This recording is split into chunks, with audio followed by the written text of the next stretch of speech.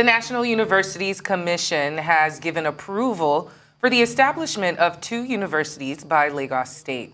The approval was given for the University of Science and Technology, which will be located in Ikorodu, and the University of Education, which will be located in Epe and Ijanikin Executive, Secretary, uh, Executive Secretary of National Universities Commission, Professor Abubakar Rasheed, said all of this, and the approval was given in confidence that Lagos deserves more tertiary institutions to meet the needs of thousands of Nigerians seeking a university education.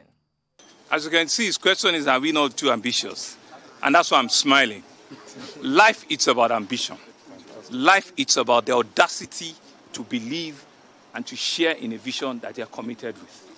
Lagos today, you say, is the center of excellence. Lagos today, you say, is the melting point of our country. Lagos today is the fifth largest economy in the whole of Africa.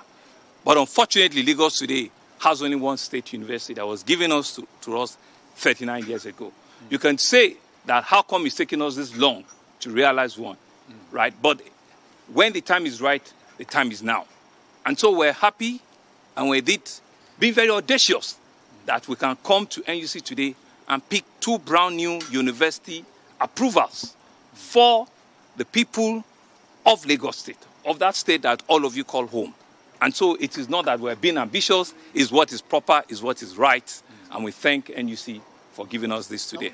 The two institutions, you know, there were legacy institutions that are there. And so even for us in the last three years, we've been investing extensively in the institution. In fact, one of them, if you must know, have almost 60 PhD lecturers there. 60 as we speak.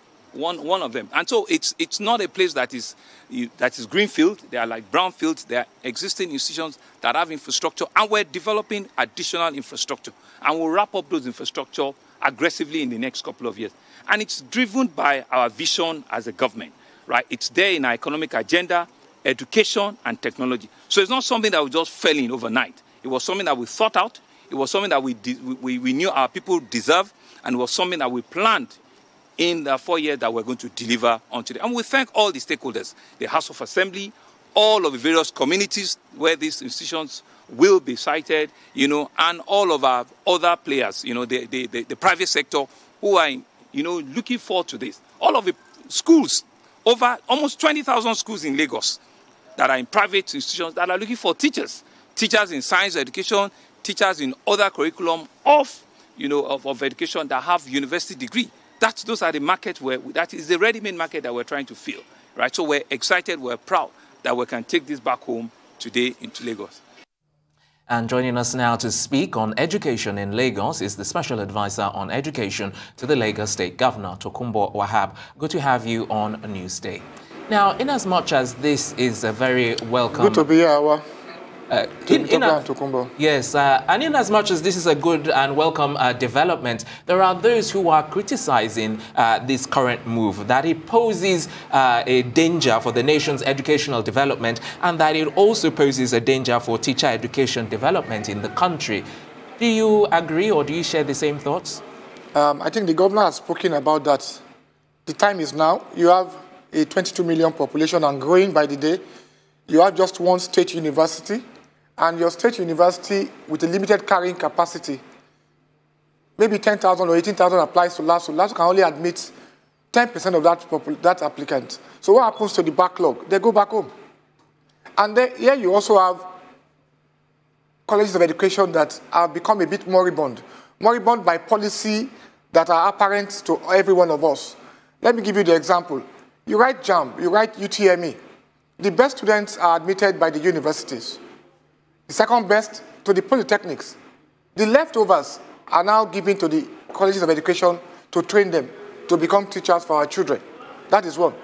Two, Lagos as a state is talking about the 21st century economy. The 21st century economy means people that are educated enough to teach our, our pupils across board the state. So for me, it's something that is well thought out, well planned, and the time for it is now. Secondly, you have HND graduates. You come to a public service, for instance, with your HND. You have a ceiling. Your ceiling is level 14. meaning you have to do a conversion with your HND. In a place like LASU, you spend six semesters, two years, for you to exceed level 14 with your HND certificate, meaning you are stunted in your growth. Whereas your peers, your contemporaries with university degrees come into the public service the same time with you. They rise through the ranks. Whilst they leave you behind at level 14, they get to level 17 as directors and possibly perm secs. So I think it's something that is well thought out, and the time for it is now. Well, I would like to ask you about the issue of funding. You know, can the Lagos state government adequately, you know, fund these new universities, provide the needed infrastructure, learning facilities, state-of-the-art equipment, you know, and at the same time still make sure that it is affordable and accessible to Lagosians? I will tell you yes, and I will, I will speak to fact and data. As we speak, in the two colleges of education annually, there are subventions about 5.5 billion annually meaning that you train and their, their student population combined is about 4,210, 4, meaning you spend about 550,000 to train one graduate for NCE certificates. So the issue of funding has never been an issue for us as a state. Be rest assured, they will be well funded. And there are provisions for these two institutions in the 2022 budget um, signed by the governor to law. Uh, talking about with these two new institutions, is this enough to address the large education gap we have within our state or even larger within the nation? Yes, they are meant to address the gaps, meant to give our, our students, our citizens in Lagos, platforms, options, access to quality education. And that's what we seek to do.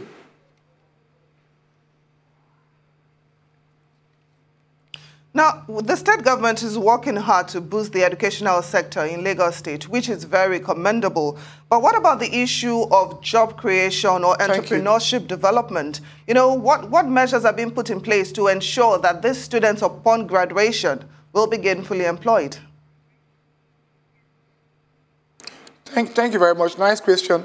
Should government be the employer of labor? I'll tell you no.